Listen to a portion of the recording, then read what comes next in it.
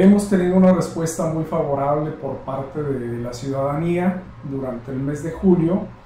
Han acudido alrededor de 3.128 ciudadanos que se han regularizado en el pago del impuesto predial que tenían eh, algún rezago de ejercicios anteriores. Hubo un incremento eh, con relación a junio del año pasado, perdón, de junio de este año, de alrededor del 111.43%. En junio del, de este año recaudamos la cantidad de 3.856.635 pesos y durante el mes de julio 8.153.987 pesos.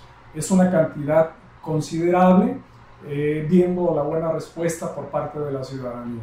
El programa va a estar vigente durante los meses de julio y agosto, entonces invitamos a toda la ciudadanía que tenga pendiente de pagar su impuesto predial, que acuda a nuestras oficinas o nuestras cajas ubicadas en diferentes sectores de la ciudad para que se regularicen. El programa va a estar vigente hasta el día 31 de agosto de este año.